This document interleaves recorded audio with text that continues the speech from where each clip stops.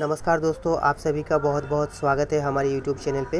दोस्तों RRB NTPC group D अभ्यर्थी के लिए बहुत बड़ी खबर आ गई है। जी हाँ दोस्तों जिन सभी कैंडिडेट ने आरआरबी एनटीपीसी ग्रुप डी के लिए अप्लाई किया और एग्ज़ाम डेट और एडमिट कार्ड का वेट कर रहे हैं, उन सभी कैंडिडेट के लिए दोस्तों यहाँ पे रेलवे बोर्ड के चेयरमैन विनय कुमार यादव की तरफ़ से ऑफिशियल नोटिस जारी किया गया है।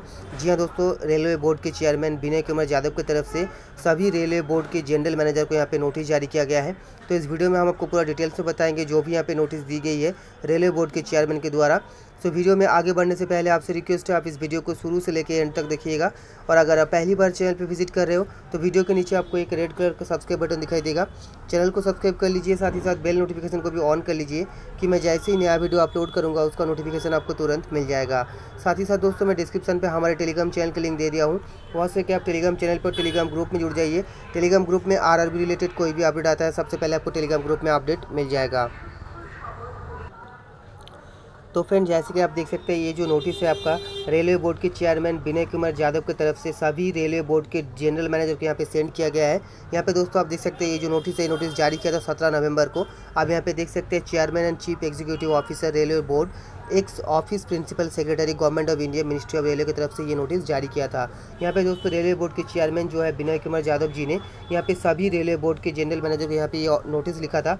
यहाँ पे दोस्तों, आप देख सकते हैं as you might be aware that major RRB examination, namely computer-based tests, are going to commence from December 15, 2020. As more than 2.4 crore candidates are to be handled by RRB, the examination season may be very long and can extend up to June 2021, during which three major employment notifications, namely isolated and ministerial category, NTPC and level 1 category,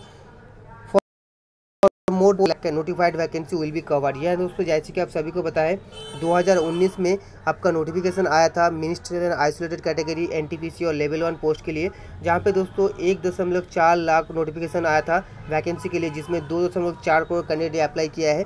तो इन सभी candidate का जो exam है, आपका exam पंद्रह दिसंबर से शुरू होने वाला है। पंद्रह दिसंबर से आपका जो है मिनिस्टरियल एंड आइसोलेटेड कैटेगरी जो है दोस्तों, आपका एग्ज़ाम शुरू होने वाला है।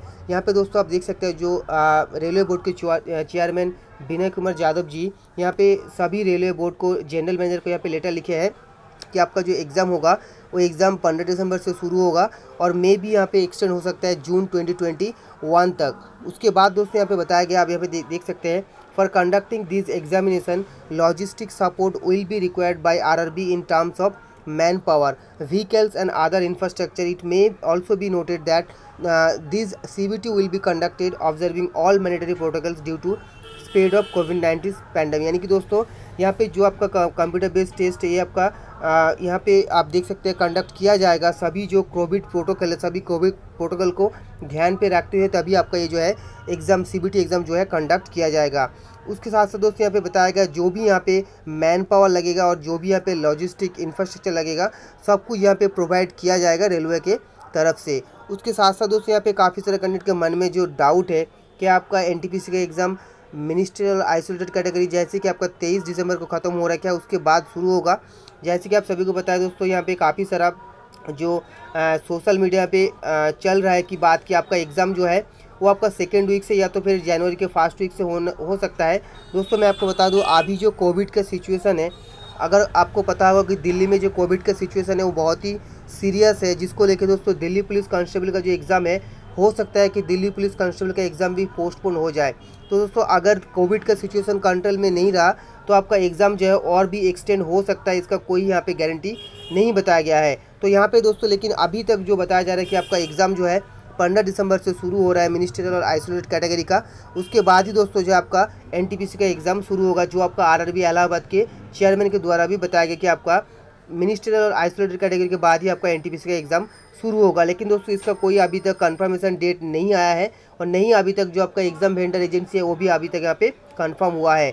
जैसे ही कोई अपडेट आता है ऑफिशियल वेबसाइट में या तो फिर रेलवे बोर्ड के चेयरमैन के द्वारा कोई भी अपडेट आता है सबसे पहले मैं आपके पास लेके आऊँगा। तो आपसे रिक्वेस्ट है आप इस वीडियो को आ, अभी तक लाइक नहीं किया तो वीडियो को लाइक से ज़रूर कीजिएगा और अगर आप पहली बार चैनल पर विज़िट कर रहे हो तो चैनल को सब्सक्राइब करके बेल नोटिफिकेशन को भी ऑन कर लीजिएगा।